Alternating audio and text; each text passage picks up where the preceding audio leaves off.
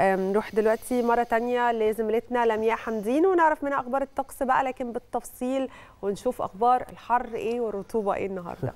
صباح الخير عليكي مرة تانية يا لمياء. بصبح عليكي مرة تانية بسنت أنت ومصطفى ودلوقتي هقول لكم طقس بالتفصيل. اتفضلي.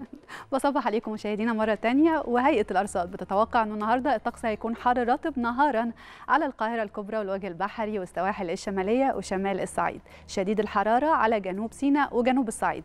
إنما بالليل الجو هيكون معتدل على كافة الأنحاء. النهاردة كمان في نشاط للرياح على بعض المناطق هتكون مثيرة للرمال والأتربة على جنوب سيناء وسلاسل جبال البحر الأحمر وجنوب الصعيد. كمان في شبورة مائية إنما خفيفة على بعض الطرق المؤدية من وإلى القاهرة الكبرى والوجه البحري والسواحل الشمالية وشمال الصعيد. خلونا نعرف تفاصيل أكتر عن حالة الجو النهاردة من الدكتورة منار غانم عضو المركز الإعلامي بهيئة الأرصاد الجوية. صباح الخير يا دكتور. صباح الخير على حضرتك أستاذة لميا وصباح الخير على كل السادة المشاهدين. أهلا بيك يا فندم. أهلا بيكي وطمنينا عن حالة الطقس خصوصا إن إحنا بنتعرض لرطوبة وكمان يعني إمبارح كنت قلت لنا إن في ارتفاع في الموج فيفضل الناس ما تنزلش في البحر إمبارح والظاهر إن إحنا مكملين معاهم كمان كام يوم.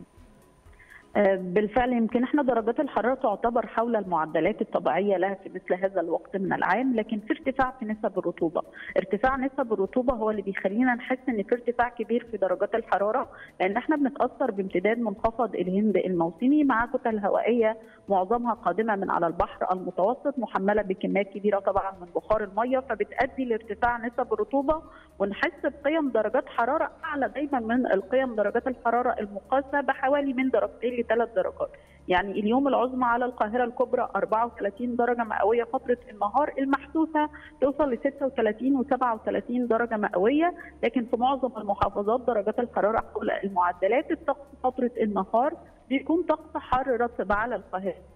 محافظات الوجه البحري والسواحل الشمالية للبلاد طقس شديد الحرارة في المناطق الجنوبية شمال وجنوب الصعيد وجنوب سيناء خلال فترات النهار. كمان فترة النهار في زيادة لفترات سطوع أشعة الشمس بالشكل الكبير اللي يعني العامل ده بيخلينا نحس إن في مزيد من الارتفاع في درجات الحرارة. فترات الليل مع غياب أشعة الشمس طبعا بيحصل انخفاض في درجات الحرارة. نحس بيه أكتر الانخفاض ده في ساعات الليل المتأخر فترة الصباح الباكر. الأجواء معتدلة على أغلب أنحاء الجمهورية. كمان في نشاط نسبي للرياح في أغلب المحافظات. نشاط الرياح ده هيساعد بعض الشيء على تلطيف الأجواء. سرعات الرياح بتتراوح ما بين 30 ل 35 كيلو متر على الساعة وقد تكون مثيرة لبعض الرمال والاتربه في جنوب الصعيد وبعض المناطق من جنوب سيناء لكن مش هتأثر تماما الاتربه والرمال المثاره على أعمال الأنشطة اليومية في المناطق الجنوبية. كمان متوقع استمرار تكون شبورة مائية فترة الصباح الباكر ساعات الليل المتأخر على أغلب الطرق الزراعية والسريعة والقريبة من المسطحات المائية لكن هي سرعان ما بتتلاشى مع سطوع أشعة الشمس يعني تقريبا الساعة 7 صباحا أو 8 صباحا تبدأ الشبورة المائية في التلاشي والرؤية الأفقية بتتحسن على أغلب الطرق. اليوم حركة الملاحة البحرية على البحرين الأحمر والمتوسط معتدلة، البحرين هيكونوا مؤهلين لكافة أعمال الصيد والملاحة البحرية وأعمال التنزه، لكن هناخد بالنا من ارتفاع الأمواج من غدا السبت إن شاء الله، يعني من يوم السبت حتى يوم الاثنين هيكون في ارتفاع أمواج على شواطئ البحر المتوسط، هيكون على بعض المناطق الموجودة في شمال الدلتا والإسكندرية والعلمين ومطروح. ارتفاع الأمواج هيكون ما بين 2 ل 3 متر. من يوم السبت حتى يوم الاثنين فلازم ناخد بالنا الساده المصيفين ناخد بالنا من ارتفاع الأمواج من غدا إن شاء الله على البحر المتوسط. الأجواء المستقرة دي مكملة معانا إن شاء الله حتى مطلع الأسبوع القادم بإذن الله متوسط درجات الحرارة العظمى على القاهرة الكبرى ما بين 34 ل 35 درجة مئوية. المحسوسة تبقى أعلى بحوالي من درجتين لثلاث درجات. مهم جدا ناخد بالنا كمان من التعرض المباشر لأشعة الشمس فترة الظهيرة من الساعة 12 الظهر للساعة 3 4 العصر. الفترة دي اللي بنسجل فيها أعلى درجة الحراره على مدار اليوم كله فبقدر الإمكان لو أنا موجود في الشارع يكون معايا غطاء للرأس شمسيه أو كاب أي شيء يحميني من أشعة الشمس المباشرة.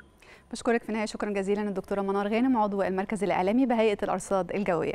ودلوقتي مشاهدينا تعالوا نتابع درجات الحرارة المتوقعة النهارده ونبدأها بالقاهرة العظمى فيها 34 والصورة 24 العاصمة الإدارية 34 24 اسكندرية 30 23 العلمين الجديدة 30 23 مطروح 28 22 دمياط 30 22 بورسعيد 32 23 الاسماعيليه 35 23 السويس العظمى فيها 35 والصغرى 23 العريش 31 22 كاترين 33 16 طابة 35 25 حلايب 34 28 وشلاتين 36 29 شرم الشيخ 38 28 الغردقة 37 28 الفيوم العظمى فيها 36 والصغرى 24 بني سويف 36 24 الوادي الجديد 40 26 وأسيوط 27 25 سوهاج 38 26 قنا 39 27